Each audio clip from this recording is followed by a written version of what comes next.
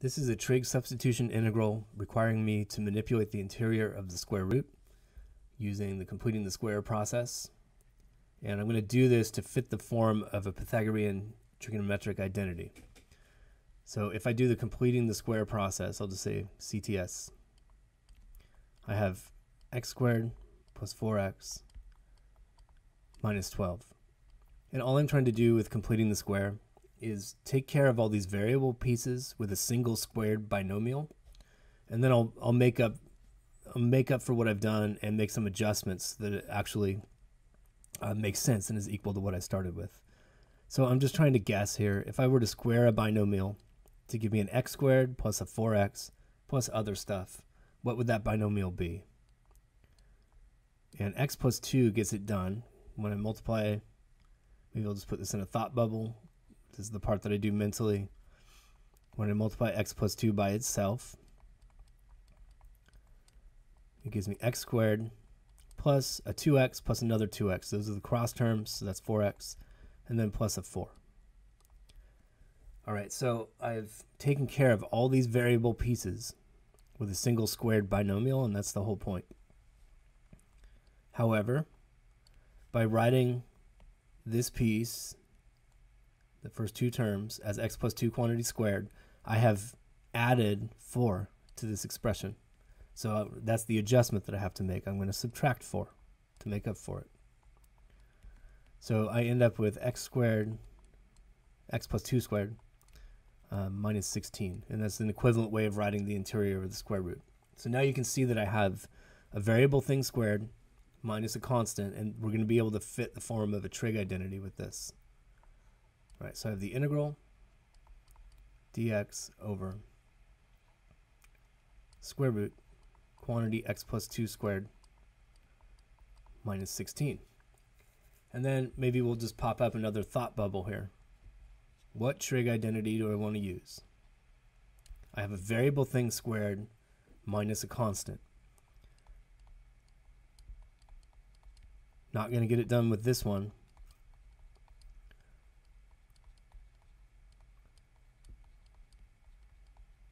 You basically just have two trig identities to choose from. You could do the one with cotangents and cosecants, but it's equally useful in its form to this one. And I'd rather mess around with tangent and secant instead. So I've, I can manipulate this quickly to look like variable thing squared minus 1 equals a single trig function squared. I'm going to go let x plus 2, I want to replace that with a single thing. Let x plus 2 equal, well, I'm not just going to use a secant of theta here because I have a 16 I need to factor out before I can clean things up. So I just asked myself, what do I square to get 16? And it's 4, so I'm going to use a 4 secant theta. When I square that, I'll get 16 secant squared. I can factor the, the 16 out, and I should have something that looks like this identity that I'm trying to match. All right, so then my integral becomes Oops. Let's go ahead and get the differential.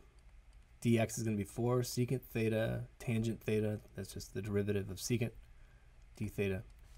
All right, so my numerator is now 4 secant theta tangent theta d theta.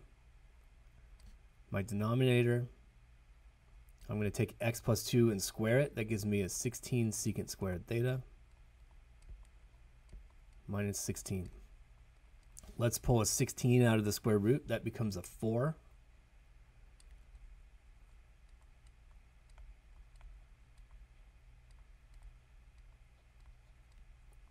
And there's a 4 waiting in the numerator to cancel that, so that's nice.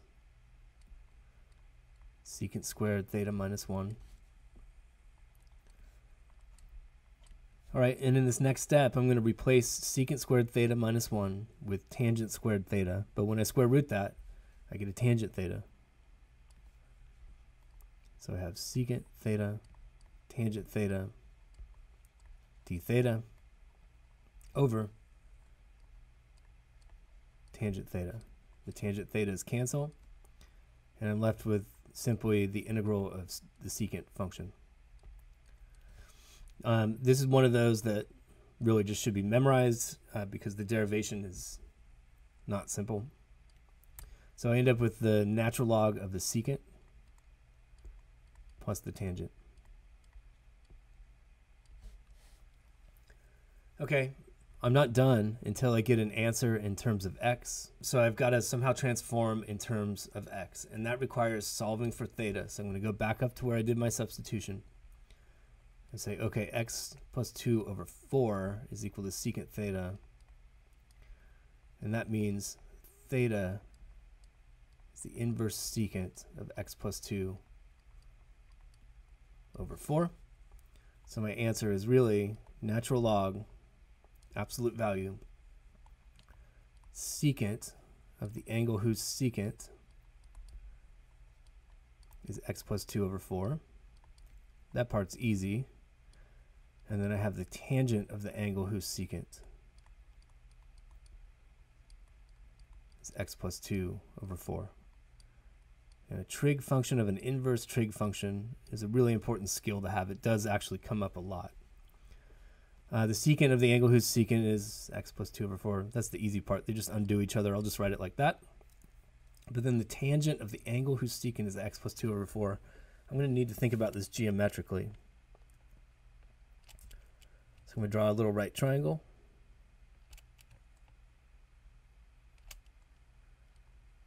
I'm to say, okay, here's the angle I'm talking about. That's this right here. And it's the angle whose secant is x squared over 4. Um, well, the secant's 1 over the cosine. Cosine would be adjacent over hypotenuse, so secant must be hypotenuse over adjacent. So the angle whose secant is x plus 2 over 4 must look like this. When I take the secant of it, I do the hypotenuse over the adjacent, and yeah, it checks out. That's the angle whose secant is x plus 2 over 4. Now I need the tangent of this angle. So I've got to find this missing side right here. And if I apply the Pythagorean theorem, 4 squared plus question mark squared is equal to the quantity x plus 2 squared. So my question mark, I guess I don't need to write another one right there. My question mark, doing a little bit of algebra, going to subtract the 16, that's 4 squared, and then square root. It's going to be x plus 2 quantity squared minus 16. But that's exactly the thing in the square root I started with. So that's square root x squared plus 4x minus 12.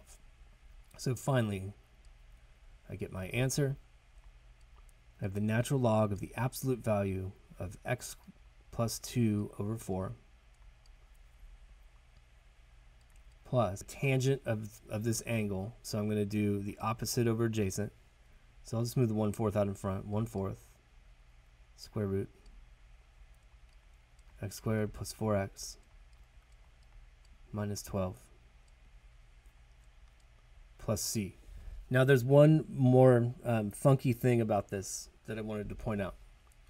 And that is that using log properties in an expression that has an arbitrary constant I could actually write this um, as x plus 2 plus the square root part divided by 4. Running short on space here.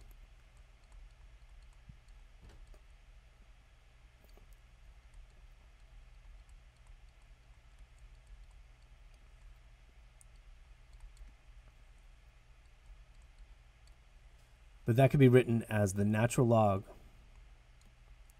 the absolute value of x plus 2 plus root x squared plus 4x minus 12 minus the natural log of 4 plus an arbitrary constant. Well, natural log of 4 or negative natural log 4 plus an arbitrary constant is just a different arbitrary constant. So I can absorb that into the arbitrary constant, and that allows me to write things in a little bit simpler form. Um, so this came up when I was checking my answer with a computer algebra system. There was a disagreement in the way the answer looked. And it turned out it was just a constant being absorbed into the arbitrary constant.